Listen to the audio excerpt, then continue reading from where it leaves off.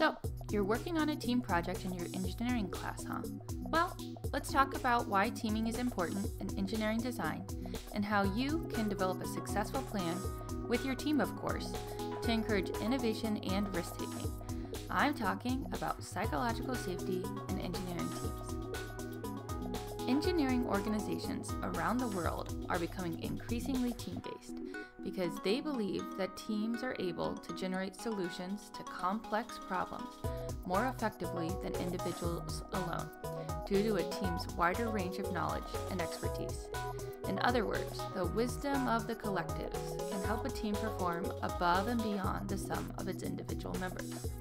This is important because companies must continually implement new ideas in order to survive and thrive in fast growing markets that demand continuous innovation.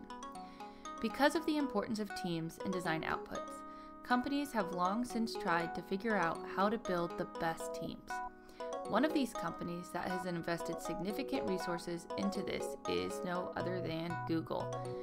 In a project coined Project Aristotle, Google spent time studying hundreds of its own teams to figure out why some succeeded and some failed. Did it matter more whether everyone was motivated by the same kinds of rewards? How often did teammates socialize outside of the office? Did this somehow transcribe into better teamwork? Or did they have the same hobbies? Was this somehow related to design outputs? What they found was surprising. The who part of the equation didn't seem to matter. Google's data indicated that psychological safety, more than anything else, was critical to making a team work. Psychological safety is a shared belief that a team is safe for interpersonal risk taking. So, why is this important?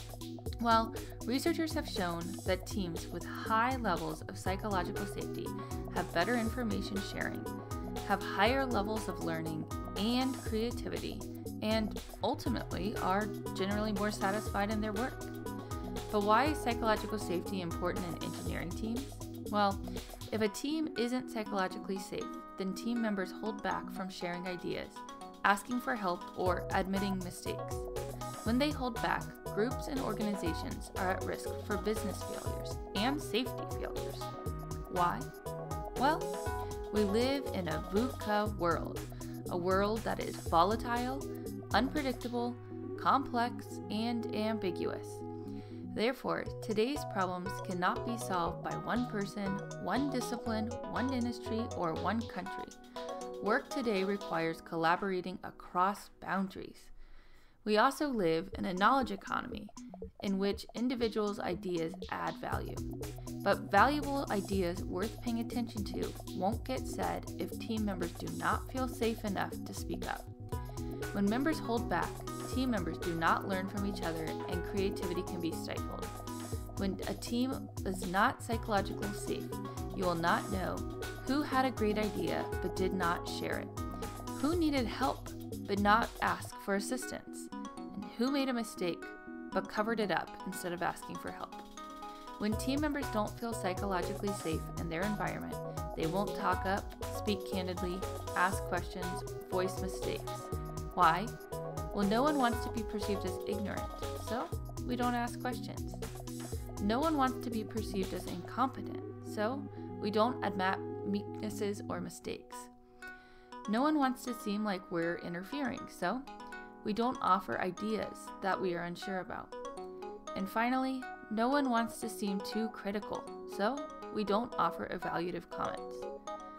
So, if we know all of these reasons that psychological safety is important, then how do we support psychological safety? Well, there are three simple steps to help foster psychological safety in your team. The first of these building blocks involves setting the stage. Once you've set the stage, your next step is to invite engagement. And finally, you will respond appreciatively. When we set the stage, the first thing we want to make sure is that we frame the work appropriately. We want to make sure that the team understands that the work is VUCA, volatile, uncertain, complex, and ambigu- ambiguous, so no one person has all the answers. Therefore, member participation is essential to success. In addition, we want to acknowledge your own fallibility and limits. We've never solved this problem before, so we're all learning together. And finally, we want to make sure that we model inclusivity.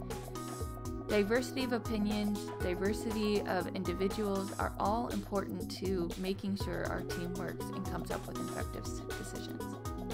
In stage two, we want to make sure that we're inviting engagement proactively. We need to ask questions like, We need to hear from you. Your voice may make the difference, or We need your brain in the game.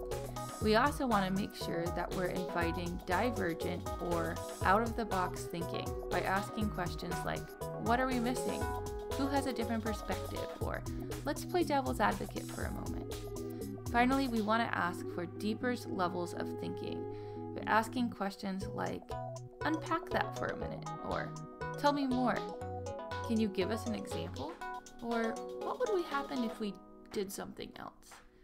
You want to make sure you're creating a space for input in meetings and asking plenty of good questions. Once you've set the stage and you've invited engagement, lastly, you want to make sure that you've created an environment where people are comfortable contributing. You can do this by making sure that you respond appreciatively. We need to recognize that even if you set the stage and invite engagement, psychological safety may be damaged if you don't respond productively. You need to make sure that you're showing genuine interest in comments, that you're listening to understand, and not just quickly responding. And you also want to make sure that you're affirming everyone member's comments in some ways. You want to make sure you're not humiliating members from admitting mistakes, but rather helping them get back on track. It's also important to recognize that building psychological safety isn't a one time thing. It's something your team must continue to work on. Much like the design process, it's a cycle that requires constant attention. In other words, psychological safety plays a vital role in each phase of the design process. Now that we know what the stages are to building psychological safety in your team, let's talk about lenses you can use to actively build psychological safety.